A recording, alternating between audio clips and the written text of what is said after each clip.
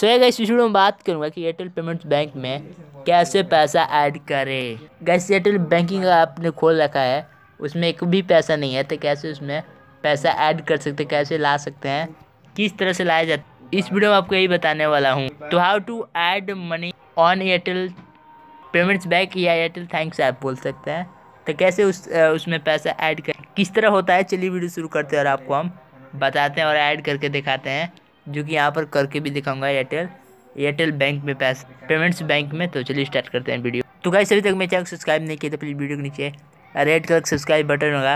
Please से touch कर दीजिएगा, बराबर में एक नोटिफिकेशन बिल यानी एक घंटे के निशान से टच करके ऑल पर प्रेस कर लीजिएगा इससे क्या होगा फ्यूचर में जब वीडियो डालूँ, डालूँगा तो उसका नोटिफिकेशन मिलेगा तो सब्सक्राइब करे तो घंटी को जुड़ दबे तो पैसा ऐड करने के लिए यहाँ पर एयरटेल थैंक्स ऐप मैंने ओपन कर लिया, ठीक है? ओपन करने के बाद यहाँ पर ओपन हो जाए भाई, क्या? तो यहाँ पर वेट कर लेते हैं थोड़ा सा। तो ओपन हो रहा है। तो ओपन होने के बाद यहाँ पर देखिए लिखा है बैंकिंग ठीक है? सिंपली आपको बैंकिंग पे करना है क्लिक तो ओपन होने के बाद यहाँ पर मैंने क्लिक किया यहाँ पर बैंकिंग पर यहाँ पर कुछ इस तरह आपको दिख जाएगा। जैसे कि यहाँ पर मेरा ज़ीरो रुपीज़ है बैलेंस उसके बाद ऐड करने के लिए आपको यहाँ पर ऐड मनी पर करना होगा क्लिक चलिए मैं ऐड मनी पे करता हूँ क्लिक ऐड मनी पे। क्लिक करने के बाद यहाँ पर पूछ रहा है कि आप कितना पैसा ऐड करना चाहते हैं, कितना आप मनी ऐड करना चाहते हैं।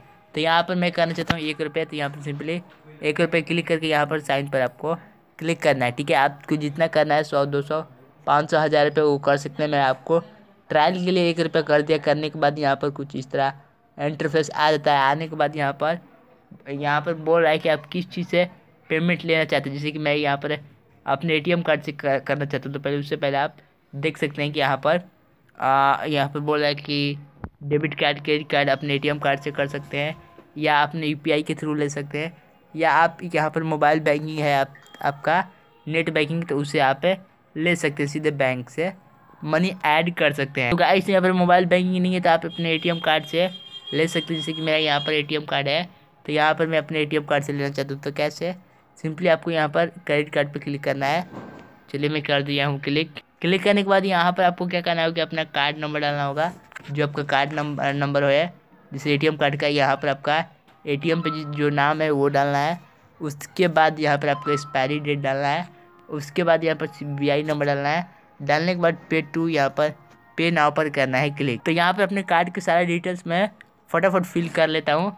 जिससे फिर से आपको बताता हूँ। Card number card name expiry date number यहाँ पर सी डालने के बाद यहाँ पर पेपर कर देना है। क्लिक चलिए मैं फटाफट भर लेता हूँ। तो पे पे यहाँ पर सब, मैं यहाँ पर एटीएम कार्ड के डिटेल डालने के बाद पे नाव पर क्लिक किया तो यहाँ पर। यहाँ पर एयरटेल मनी हो रहा है यहाँ पर। यहाँ पर बोल रहा है कि वेट प्लीज़ यहाँ पर लोडिंग बैंकिंग पेज ले रहा है, ठीक है?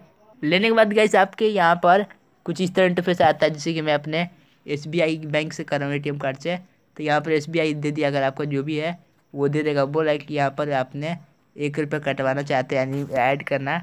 चाहते हैं अपने पेमेंट्स बैंक में, यहाँ पर मैं अपने बैंक से कृपया कटना चाहता हूँ, जो कि अपने एयरटेल पेमेंट्स बैंक में ऐड करना चाहता हूँ। तो यहाँ पर बोल रहा है प्लीज़ इंटर योर यहाँ पर enter your O T P यानी यहाँ पर वन टाइम पासवर्ड जो कि आपके मोबाइल पर ओ टी पी जाएगा, जो आपका रजिस्टर्ड मोबाइल नंबर है, उससे यहाँ पर आपको इंटर करना है। यहाँ पर करने के बाद यहाँ पर मेक पेमेंट पे कर देना है क्लिक चलिए मैं ओ टी डाल के क्लिक कर देता हूँ। तो कैसे जो मैं बोल रहा हूँ, वो समझ रहे हैं ना? आप यहाँ पर ओटीपी डाल दीजिए। डालने के बाद गाइस यहाँ पर फाइनली मेरा कट चुका है, जो कि यहाँ पर ऊपर देख सकते हैं।